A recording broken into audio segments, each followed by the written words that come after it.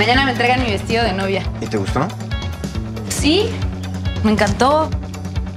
Ana, te escucho dudosa. Mamá, parezco Bubulubu. Cuando Manolo nos invitó a hacer la obra, Marimar, eh, hablamos y no, no teníamos ni que pensarlo. Fue instantáneo, obviamente, porque eh, nos gusta mucho lo que hace Manolo. Son unos personajes que en teatro fueron muy gozosos. Como actriz es increíble hacer un personaje como el, el de Ana.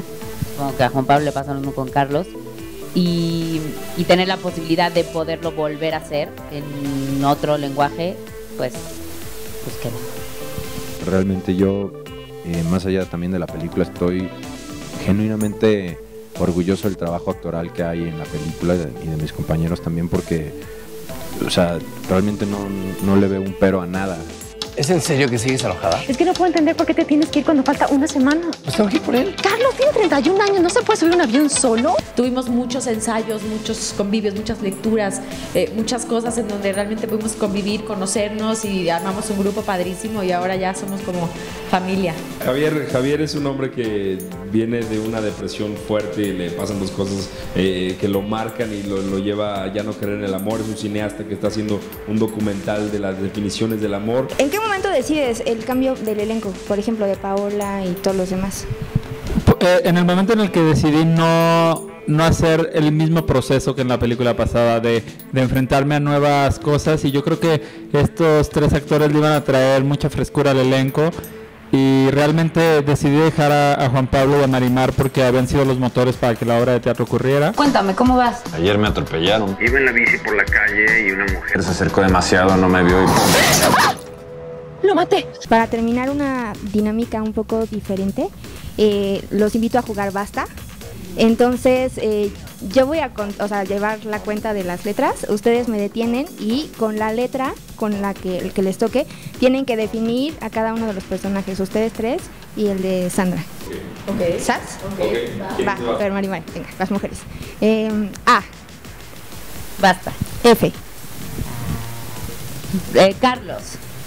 Flaco. Eh, León. Fácil. Eh, Lucía. Fácil. Eh, Lucía. ¿Con D? con D. Dama. León. No, ya para. Basta. León, con D. No. Paso. A, Basta. N, Está padre. Nerd. Eh, eh, Sandra. Nociva para eh, Ana no. pero no tiene que ser de tu personalidad. Ana.